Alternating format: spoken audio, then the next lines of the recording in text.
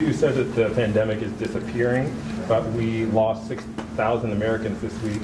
And just in this room, you have dozens of people. You're not following the guidelines in New Jersey, which say you should not have more No, they don't have, 25. this a political you're you saying it's a bad example, Mr. President? You're wrong on that because it's a political activity. They have exceptions, political activity, and it's also a peaceful protest. So when you have, and, and as you know, asked if they could be, you know, they, a number of, uh, and to me, they look like they all have, pretty much all have masks on.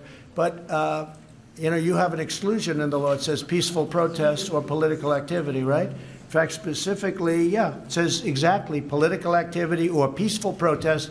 And you could call it political activity, but I, I'd call it peaceful protest because they heard you were coming up and they know the news is fake. They understand it better than anybody. And they asked whether or not they asked whether or not they can be here. Like the question about Russia, he doesn't mention Iran was in the report. He doesn't mention, or he mentions very late that China was in the report, because that's the way they are. They're not.